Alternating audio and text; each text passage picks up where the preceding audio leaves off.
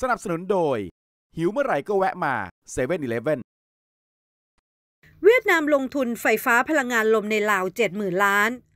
บริษัทร่วมทุนพลังงานหมุนเวียน AMI กวงบินแห่งเวียดนาม หรือเวียดนาม AMI Renewable กวงบิน Investment Joint Stock Company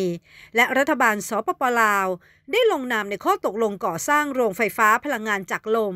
ในเมืองเซโปน แขวงสวรรณเขต โดยพื้นที่ก่อสร้างโรงไฟฟ้าอยู่ห่างจากเมืองกวงบินในเวียดนามเพียง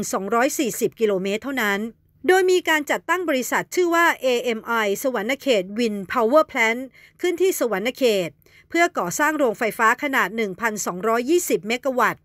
ใช้เงินลงทุนรวม 2,000 ล้านดอลลาร์สหรัฐ หรือประมาณ 70,000 ล้านบาท นับเป็นโครงการร่วมทุนระหว่างเวียดนามและสปปลาว ในอุตสาหกรรมพลังงานที่มีขนาดใหญ่ที่สุดของสปปลาว ทางด้านนายโบเวียงคำวงดารา รัฐมนตรีว่าการกระทรวงวิทยาศาสตร์และเทคโนโลยีของสปปลาว และนายเหงียนบ่าฮุง เอกอัครราชทูตเวียดนามประจำสปปลาว พร้อมด้วยนายเหงียนนำจาง CEO ของบริษัท AMI ร่วมเป็นสักขีพยานในการลงนามครั้งนี้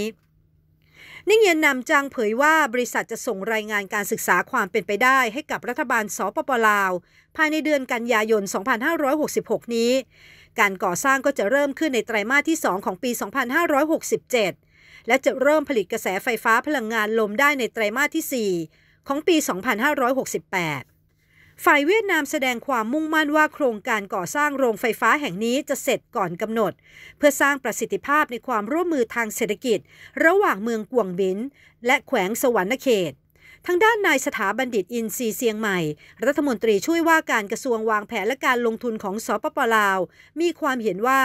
โครงการก่อสร้างโรงไฟฟ้าแห่งนี้ อยู่ในแผนพัฒนาเศรษฐกิจและสังคมระยะ 5 ปีของรัฐบาล คือตั้งแต่ปี 2564 ถึงปี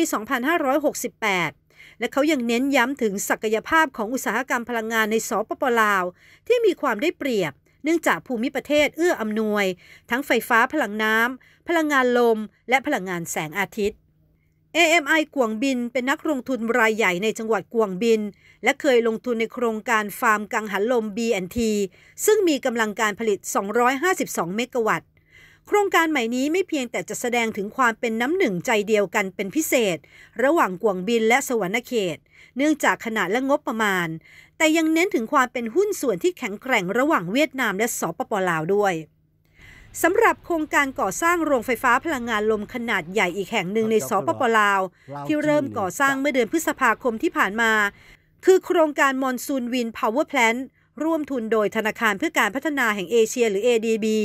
กับบริษัท Monsoon Wind Power Company ของสปปลาว โครงการลงทุนมีมูลค่า 692 ล้านดอลลาร์สหรัฐ หรือ 24,200 ล้านบาท มีกังหันลมทั้งหมด 133 ตัว บนพื้นที่ 1,000 เฮกเตอร์ หรือ 6,250 ไร่